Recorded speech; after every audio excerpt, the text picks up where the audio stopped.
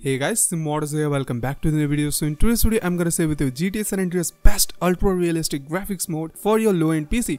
So if you are interested in this graphics mode, then please make sure to watch this video till end. So do you want to know how to install and how to use this graphics mode? Please make sure to watch this video till end.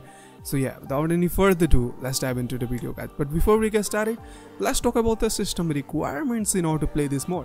Well, you need at least 1GB RAM, 12 core processor or maybe if you're running on single core processor then also no need to worry about it.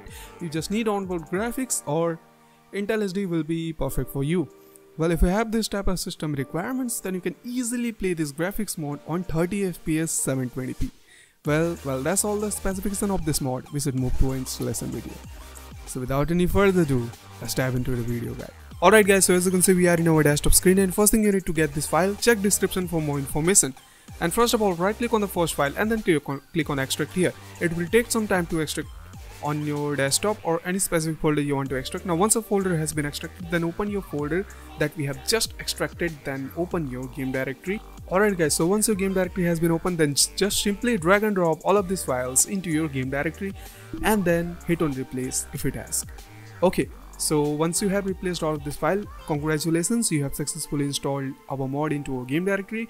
Now just run gta_sa.exe or if you have or if you have env.exe, then please make sure to run that. Now double click on gta_sa.exe and your game will 100% start.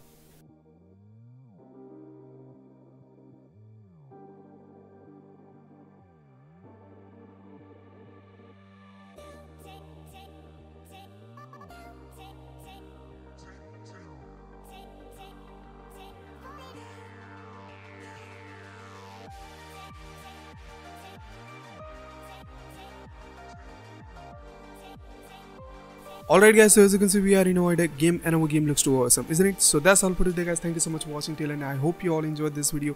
If you enjoyed this video then please make sure to leave a like on this video, share this video to as much as you can. So yeah, as always, I'll see you into the next one, till then goodbye. Bye.